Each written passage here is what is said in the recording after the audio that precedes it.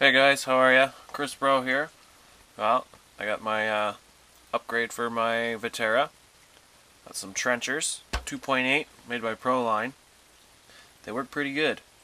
I was originally I was going to leave the stock tires on this truck until I had a little bit of an accident. And it made me pretty mad when that happened, to be honest. But then I just drove the snot out of it until the other tire blew up too. So I bought the Proline trenchers. There's a size difference here.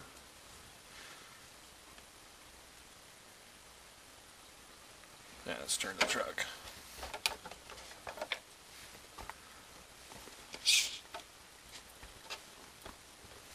Oh, there we go. That's not bad. A little bit bigger. Wider too. So, that's a stance of the truck with those nice tires on there. They work wicked. They uh, they hook up and grip, and they actually hydroplaned. Not a long time, but a little bit of a puddle. Wanna check it out?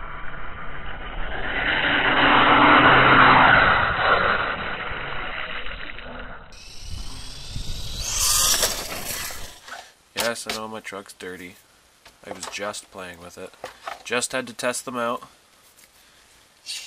I uh, sealed the holes in the rims, cleaned the rims off, and then put a piece of electrical tape on there. And with the spinning motion, the tape doesn't come off, and yeah, stays on there for good. And they're sealed, pressured. Bow, bow, bow. So they work pretty good. I'm happy with this Vaterra. Very happy. It's been a good truck. I was uh, pretty upset with it the other day when my tire blew up, but I know it's filthy right now. I gotta clean it. But I was just outside having fun with it. What a sweet truck. If you want one of these, I do recommend it. Besides the breaking axles, but once they come out with uh, upgrades, they'll be good to go. I broke another axle today. Just got a new one put in there. And I broke a front shock. Broke the shock. I broke the bumper. I believe that's all I broke so far on it. Well, I broke lots of axles. And the body, from doing wheelies, they need a, a wheelie bar.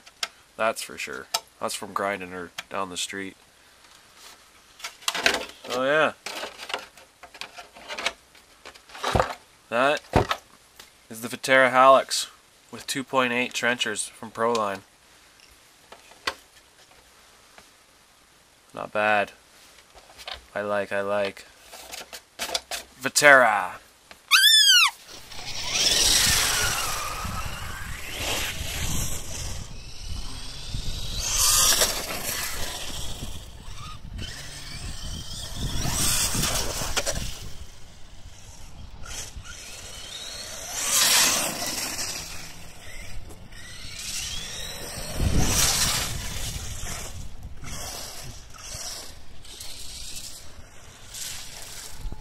How close?